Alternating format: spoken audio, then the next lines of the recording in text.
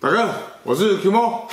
记上一段吼，Q 猫那个就不讲了哦。那 Q 猫现在就来讲吼，Q 猫自己关于对汤普森、汤普森 M1A1 哦，WJ 把 M1A1，事实上是 Cyber Gun，哦，他这一把枪哦的感想，哦的感想。OK，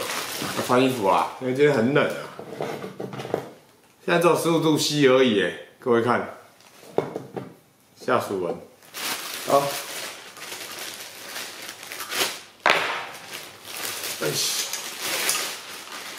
出来，OK。基本上来说，哦 q m 在最近的这一些呃的实际的保养跟测试的状况下呢 q m 真的觉得，基本上来说，W 的枪哦，它以它的售价跟他们的 CP 也越来越靠近，越来越靠近，也不知道说越来越靠近，它实际上本身就一直有在进步，而它现在也是变成许多。枪友的一个平台，为什么是说平台呢？因为有很多人，因为 W 它的量比较大，所以有很多人就会说，哦好，哎，他今天就像以前的 M 十四一样，我就会出它的木托，我大家就可以去把木托啊，把它补除、补补齐上去，或者是外观件啊，或者是机身啊，不，枪机啊，上机夹，有些厂商就说，哦，我来做钢制套件。那虽然现在。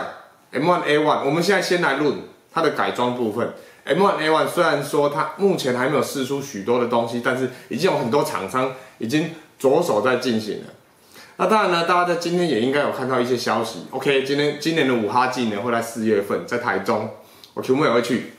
那相信呢，那时候也应该会有一些厂商呢就会把汤姆森的一些东西我把它试出来，不管是钢制套件，之前已经有人说已经有有涂出来了，有涂出来了。那到时候做出来效果怎么样呢？大家不得而知哈。那所以呢，在外观上呢，跟材质上呢，其实大家真的，你不用担心。如果你是这一把枪的爱好者，你不用担心，它一定会有补品的，一定会有补品。OK，那这是外观的部分。哦，Q 模的感想啊，跟它未来的升级部分，外观升级的部分。那再来呢，效能的部分呢，Q 模因为 Q 模这几天太冷了，所以 Q 模没有办法很实际的去到外面去测试。又有风又有雨的，那测不准啊。那但是呢，有幸我在上个礼拜的时候呢，刚好我在台中打，有遇到也有枪友，他有也有买这一把枪下场打起来的感觉呢。事实上来说，因为它的弹夹，因为它做的这个是五十发的长弹夹，五十发的长弹夹，所以它的气容量蛮够的。那那时候在打的时候呢，它的气化状况也不错。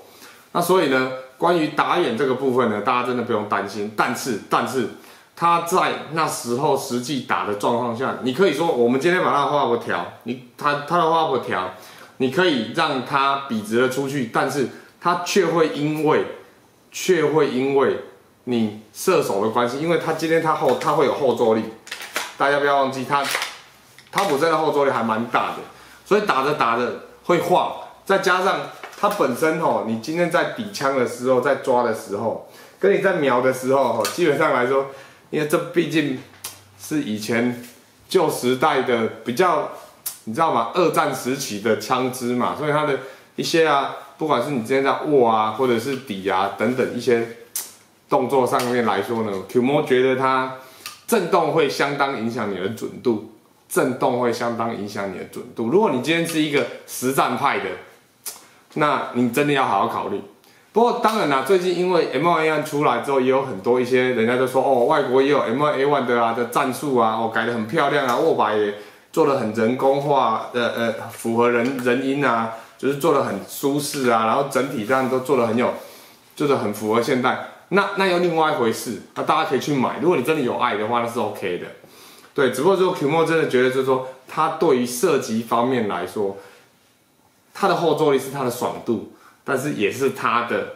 不准的地方，Q 模自己是这样认为的。那它基本上来说，出去的弹道啊，呃，远度啊，其实是基本上是 OK 的，是真的够用的，是真的够用的。OK，那最后呢，Q 模就要来不得不提到它的操作感，M1A1 的操作感，操作感呐，操作感，什么是操作感？好，例如说，假设你今天跟人家，我今天打打打打打打打，我今天要上弹夹，打打，我今天已经上好弹的。然后我开始跟人家打打打打打打打完了，啊，我要换弹夹了。OK，M1A1 在换弹夹的时候，这边没有卸弹钮是没有的。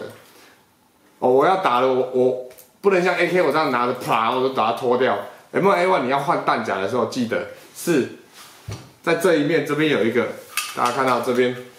有一个退弹钮，有没有看到？往上推之后，你才有办法把弹夹拿下来。Q 莫，我真的觉得这一个，这个，这个哈，你这样子整个握，大家有看到我的大拇指？我根本就摸不到我的退弹钮，我没有办法把它往上提。那当然了，有些人如果说，那我可以靠另外一只手来推啊，好啊，你推啊，整个蛋就掉下来。或者是你今天也许有 Q 摸跟另外我们有研究，我们有另外一个方法，你可以这样子。你可以，例如说，我这边先按，这边先往上推，然后这只手来抓，因为这个一推它要掉下来，它就掉下，它就掉下来。各位，W 这支弹夹不便宜啊，好不好？一千多块，好不好？所以就等于是他今天他的卸弹的部分，Q 莫觉得真的非常的。对嘛？你要拿拿开身体往上一推，我看着它往上一推，然后拔下来放进口袋，然后放进你的弹袋或者是什么，然后之后你再拿下一个再塞的时候，各位，M A One 不好塞啊，你要很准的去塞到那一个，大家都刚看我操作吧，你 Q 莫真的塞半天啊，它真的不好塞，因为它是真的是靠，它是真的靠这个钩这边这个钩槽。去去卡进这个沟槽，OK，它没有个弹夹紧啊，所以 Q 莫呢就觉得在这一点哈，这真的是非常的，你换这个弹的时候，你大概就被人家打死了。那这是我那一天跟他讲最多次的，他说他那换弹，他要先躲好，躲好之后呢，然后再把弹换好，然后等再出来这样子。OK，Q 莫觉得 M A One 哦，我们回过头来啊，如果今天你是一位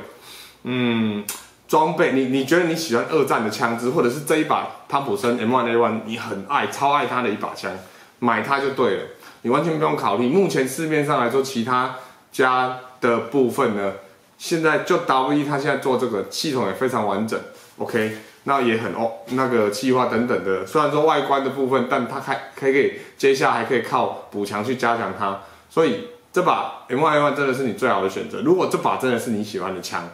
甚至有些人呢，像最近不是有一些电动玩具啊什么啦，或是 cosplay 啊，他们我相信，如果它里面有角色是拿这一把枪，他去买也是很 OK 的，因为这把作动感来说啊，等等作动感来说，还有它实际的重量啊，还有它看起来的感觉，其实都很蛮 OK 的。但如果你今天是一个追求 OK，我今天下场，我就是需要有我的枪必须要稳定，然后要，然后要你是比较追求就是在场上活动面，你是比较希望能够击杀比较多一点的人呐。那这把 M1A1 呢，可能就跟你比较不搭嘎，你你可能买了你会觉得你用也用不习惯。再来第三，它还是有所，因为毕竟 M1A1 汤普森它是一把二战时期的枪支，二战时期的枪支，所以以 QMO 的角度来说，你今天假设，你今天假设，哎呀，你拿一把汤普森。你拿一把汤普森，然后你头戴现代的战术战术头盔，你不会觉得这样很奇怪吗？很奇怪吧？所以基本上来说呢，是会有一个所谓，你今天还是要去考虑，就是你的你的外你的外你的呃装备的搭配。我那个朋友啊，在台湾的朋友，他是真的搞了一套二钻装备，然后再去然后拿汤普森，是真的刚刚好。但是事实上来说，很多人是不能这样子做的，因为你要凑齐一套二钻装备，即便是仿的，你也要花一些心思，那是真的会很喜欢人才会去搞这个东西。所以呢，最后总结，Q 莫认为，如果 M1A1 对你来说是一个你很喜欢的枪支，光摆把玩就你就超开心的，那你一定可以买它。好，或者是你是对二战非常有兴趣的人，你买它你也不会后悔，你真的不会后悔，那个 CP 值真的够了，真的够了。但如果你今天你已经已经有自己所谓的，就像 Q 模一样，我有一个现代装备，或者是我是 AR 系列的，那基本上来说，你买 M M1A1 呢，事实上来说，就只是哎，哦好像还不错这样，但实际上它对你的你的效益并不是很大。那当然了，以上是 Q 模自己的感觉，是 Q 模自己的感觉。买枪是每个人自己的呃需求，好跟喜好。当然也可以买起来当收藏，这也是很 OK 的。那 Qmo Qmo 呢？那今天就针对汤普森的一些自己的感想，哦，就说到这里。那关于测试的部分呢，Qmo 回来台湾之后呢，还会再继续拍下去，还会再继续拍下去。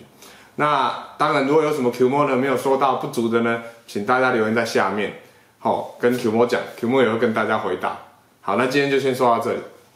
谢谢。